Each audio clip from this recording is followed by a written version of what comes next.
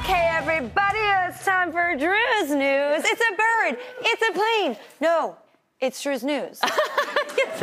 and with me at the desk is uh, my super news man. It's Rossi Ross Mathews. That's right, everybody. Hi.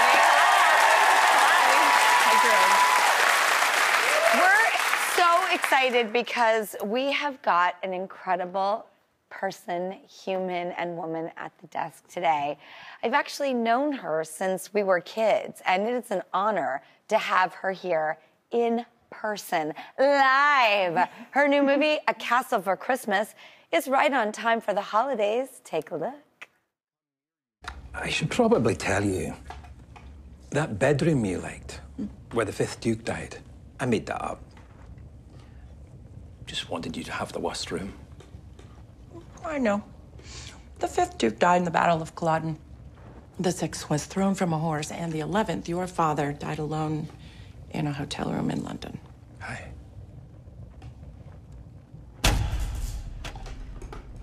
Oh, not again. Please welcome the one and only Brooke Shields.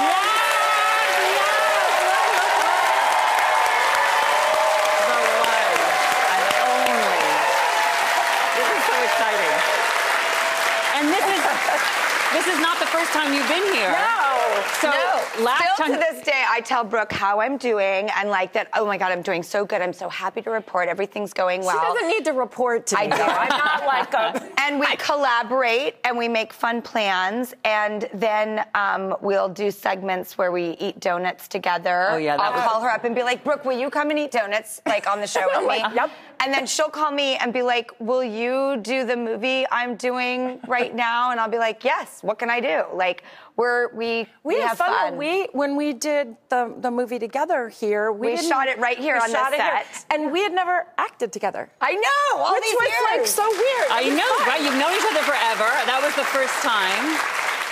it was really it was nice to sort of after all these years kind of bring it all together and for something like a, a wonderful project which Yeah. is you know i mean a castle for christmas is like right up my alley I am It's like- obsessed. it's so the trailer. I, I'm in the movie. I've, I got to do scenes with you. I'm obsessed. The trailer, it looks so good. It's got everything that you need in a christmas movie Yeah. and there's dogs there's pubs there's horses there's knitting Uh, Knitting. whiskey Whiskey. Sign me up. Sold. Cary Elwes of The Princess Bride. I Yes? mean, Oh, literally. wow. we shot in Scotland. I lived Oh, in the carriage that. house of an actual neighboring castle. I like how there's neighboring castles. and it's a happy, feel good movie. I think Oh, we just need we to be need it. entertained. Yes, gets us in the in the Christmas So spirit. great. Thank you, holidays. um, I have to bring this up. Last time you were here with Drew, you guys were eating donuts, and today Yes. you're Oh, here cheers. with Cookie Week, uh, Ah. and you brought us your favorite cookie. I did. What I, is it? I Look at love this. peanut butter and I love chocolate. So the fact that they're all in one cookie makes me very happy. Walk me. For starters, can we talk It's about the 14 girth pounds. of this cookie? Look how thick this is, you guys. Look at that. That's that's a It's big the size of my hand. Yeah. Okay. Very heavy. So it's chocolate with peanut butter chips in it. yeah. Oh, oh, oh wow. Oh, mm. This works. And it's fun to smile after you've had it. Mm. Oh yeah. I was going to say, teeth. here, mm. Oh, thank you. Mm-hmm. That's a good friend. that's what friends do. Mm-hmm. Yep. Well, are you guys ready for some headlines? I'm very yeah. ready While we for headlines. swish. Oh my god, that is crazy. That's crazy. All right. Well, first up, we're gonna kick it and stay on this holiday theme because tis the season for Christmas music. And Yahoo Life reports it's not for everyone.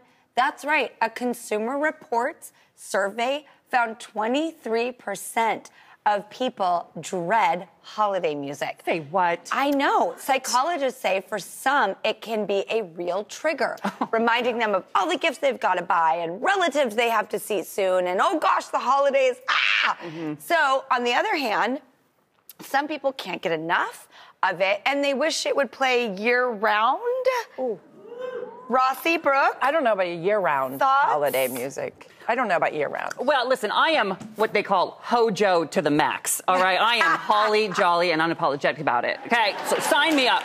But to your point, when they start playing it like on October 15th, I'm Yeah. like, girl, no, that, come on. It's too much, right? It's, it's too much. It makes me melancholy. It doesn't make me like angry or, or I'm not, you know, upset, but it just makes me melancholy. I don't know why. It just sort of makes me like, oh, remembering when I was a kid, and you know what I mean, like that. I think it does evoke some of that. But I don't, I don't hate it. No, I do appreciate that I know every word to every holiday song. And so I sing so loud in the car. You guys know you sing so loud in the car, too. You know it. Um, I love the Vince Guaraldi Peanuts music, and I really like when people like. There's a band called She and Him with Zooey Deschanel, um, and it's like I love when people make Christmas music. I feel like more musicians and bands like Tony Bennett and Lady Gaga like Yeah. make Christmas music. Like Yeah. let's do this every year.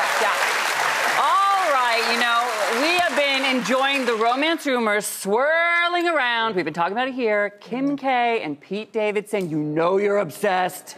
So are we, or at least curious. Well, we just learned something new about Pete's relationship rules. Entertainment Tonight reports he just revealed his number one dating deal breaker. Listen to this. He says if you're rude to a waiter or a server, you're not getting a second date.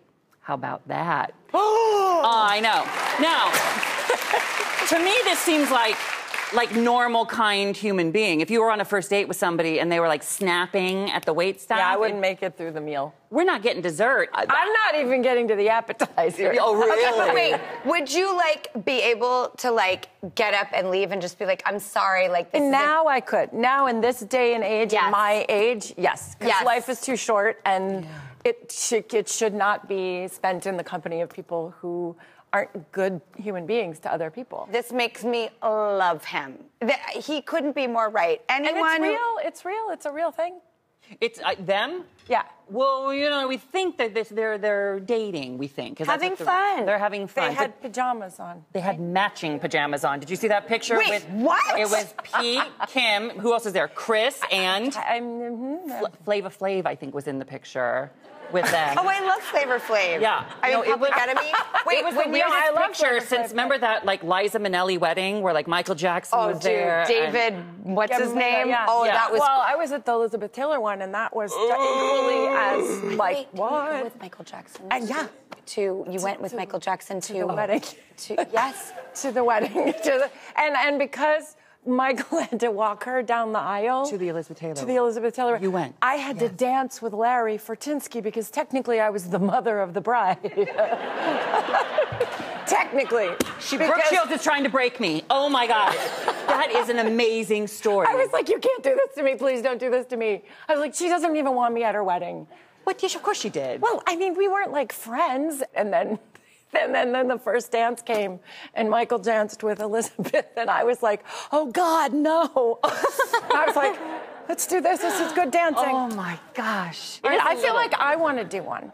Can I do a, story? new This one's story? yours. Can Yes. this? Okay, Take wait. it away, take it away, I want to go like this. Okay. Next up, we're going to talk about the latest Cheugy casualty. Ross, Yes. Drew, I Yes. know that you've talked about Cheugy at the news desk. It's the word that kids are using these days to mean uncool, out of style, or just basic. Mm-hmm. So the New York exactly Post it. reports that Generation Z says that blonde hair is officially cheugy. They point to young fashion mavens like Gigi Hadid, Hailey Bieber, and Florence Pugh, and they say they've all gone from blonde to brunette recently. So, what do you guys think about this? Do you think about being? I thought blondes had more fun. I wasn't sure. I love blonde hair. I don't think it's cheugy whatsoever. Blonde hair is stunning, striking, beautiful. This report is cheugy. Chug, exactly. well said.